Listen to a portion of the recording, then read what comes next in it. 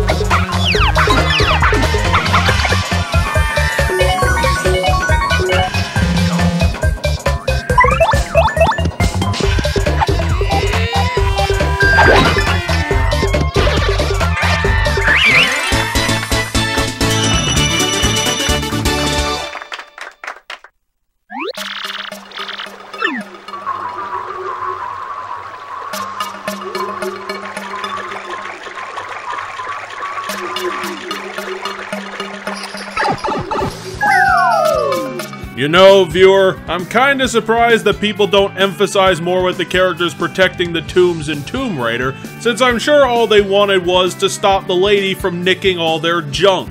Just like how I'm sure that the Golden Fuzzy's posse was just looking for Mario to stop invading their home and beating them up because he's stronger and more handsome than they could ever be. Well, they aren't the destined hero of the tale, so the Golden Fuzzy can get fucked as far as the game is concerned because the world needs a saving. Before that, they have to get past this mosh pit, which is more of your early level boss cube damage thing, except a little harder than Blooper from earlier. Man, I just remembered, Intelligent Systems copied the game a lot from Paper Mario. This time around, the Fuzzy Horde is protecting the Golden Fuzzy somewhat. It can hurt quite a bit with a maximum hitting around 5 times for the damage, and then the Golden Fuzzy adding on top of that. The good thing is that the Fuzzies don't steal health, so it's easy to fend these guys off than their service-born cousins. After a few turns of smacking them about, Mario gets to leave with his ill-gotten, ill-protected keys and continues saving the world at the expense of the few.